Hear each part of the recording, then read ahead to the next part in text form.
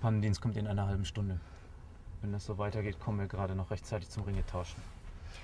Dir wär's doch gerade recht, wenn wir noch die ganze Hochzeit verpassen würden. Warum bist du so giftig? Meinst du, ich weiß nicht, warum du die ganze Zeit diese Musik hörst und von Trinidad schwärmst, als wär's das Paradies auf Erden? Was ist das Paradies auf Erden? Scheiße. Ich will, dass du einen AIDS-Test machst. Das ist doch lächerlich. Ach ja? Was? Was ist so toll an den Frauen in Trinidad? Was ist so toll? Sie führen kein Gespräch wie dieses. Und? Es ist gar nicht okay.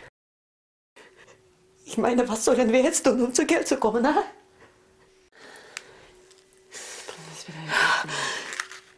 Ich verspreche es.